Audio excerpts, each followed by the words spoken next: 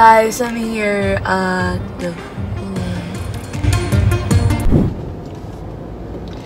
So what's up guys?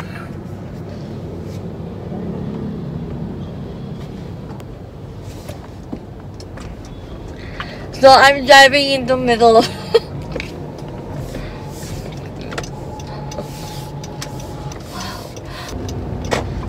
Yes! Very saucy people out here. The Ford. Bagong maintenance po ang kotse ko. So, I hope you guys are doing what? Doing what? yeah, I'm so happy today.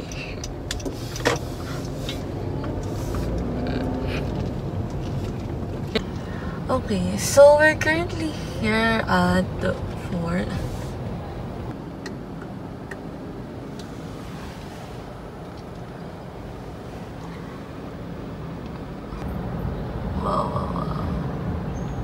Um, we're gonna go today somewhere at around uh, Forbes Town. Um, siguro, ano lang tayo, sa parking lot. Or if you want, um, ano ba may isasuggest nyo for me? So hi guys! So welcome back to my channel and this is Steph. So today I'm currently here at Forbes Town, the Rizal Drive. So today um I just had my car maintenance. Nagpa-maintenance ako sa Honda because my car is Honda Civic. And I just had my maintenance because I have nagpaano maintenance for my car.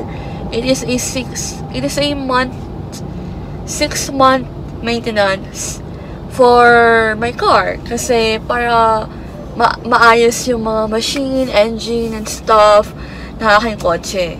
So today, since I'm done with it already, um, I have decided to go at Forbes Town and to order Yifang tea, Yifang fruit tea. So, ano nga ba ang Yifang fruit tea? So, it is a Taiwan fruit tea. Um, basically, para siyang, hindi, um, para siyang tea, pero fruit, okay? In the fruity side. But, meron siyang halong mga green tea, black tea, or it depends on to whatever you like. So, uh, syempre different siya sa milk tea. Na, alam niyo naman, mga Serenity, Gongcha. Syempre sa mga milk teahan na yan, itong mga milk tea shops na yan, may mga fruit tea. So, Yifang is one of them. Yifang fruit tea is very, very, alam nyo, yung una ko natikman yung fr- Yifang fruit tea, napaka-healthy nga and super, super, parang feeling ko I feel so um, energized, motivated.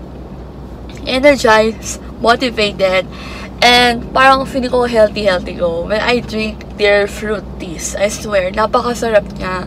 And, kahit na fruity lang siya, nakakapusok siya, in fairness. Nakakapusok. And that's what I really, really like.